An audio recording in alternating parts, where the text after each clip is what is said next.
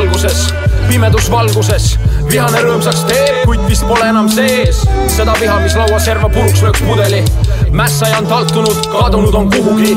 võib-olla see puhkus enne, kui plahvatan uuesti nagu uinunud vulkaan, mis ei kustunud päris lõpuni. või siis ongi kõik just nüüd, lapsepõlv lõppes. on siis või pole, olek kuidagi kõhkleb. häid aegu veetsime, üks-kaks Mike Jack joode veel. ühendatud uhke rahvas, üks keel, üks meel. oli tihke see sitt, mitte et nüüd kisuks hõredaks. Tom alustab, Tom lõpetab, seis ikka jääb põnevaks annan edasi lõuendi, mu visand on nii selge. laesad maalivad ka, siis saab kogu pilt tervem.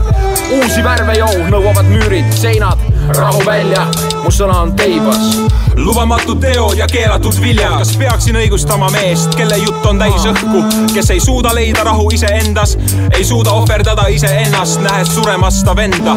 uks sulgub silme ees, kuuled võtiluku august teeb pöörde ja ühe veel ning seisma sinna jääb. maailm muutub jube vaikseks sellel ajahetkel, iga pulsi tukse võnke sagedus on piisav, et purustada jää. kuubikud kurekullerike lapsed noka vahel, õnnistades uut elu, teades, et see kord lõpeb, kui ma magasin, ütles mulle Paramahansa Yogananda anda Shri juktest Valahiri maha saia ja ja Babaji, et kõik on võimalik, kui endasse usud. Need on neli püha meest, amen, neli künameest, kes sama lipu all sadamasse purjetavad. Laeval nimeks ainult tõde, kiskuge mul süda seest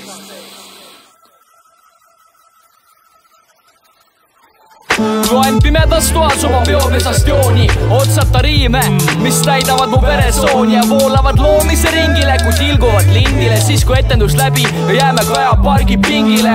neli fantoome välja heidetud ajas, laulame kummitusfolkloorisel veidetud rajal, naudime hetke, sest need välja valitud riimid valitud kõrvadele, välja valitud pildid, tagasi igavikku, kui olen loona pildil püsinud. pane veel. ei no milles küsimus, see on mõtteaineid, neid segan ja markeerin Põhjamaade põhjas. Sõnade alkeemik, kosmostus uskumatu, aga ma pole õpetlane, vaid seisan tule, õhu, vee ja maa epitsentris. Ja neist igavesti õpin, kuni oma tee me lõpetame. Ja me kõrvale on võimatu leida võrdlusmomenti Need read tunnistus millestki ilusast, mis olnud ehk nägu heast peost suhu tund pohmellileht. me loonud vendadega oma kui Bert Brecht, täis kirjutatud ajalugu riimileht. iga finiš on start, seega edasi spurdin ja lepin sellega tribüünidel, osad on kurdid, koos ehitatud kindluse tornides turnin, vaatan üle me loodu, see on ilus ja sulnis, ikka koos on võimsam ja koos on pullim, kui omad on kõlaris ja omad on puldis, mis sest et vanu aegu enam tagasi ei tule. kui silm peast välja, ega siis ära ei sure. mõnel aeg, mis antud, kus elame, on lühem. me neli sammast templil, kus lendame üle, kasvõi kehale põletan lause endale ühe. ma olen uhke oma vendade üle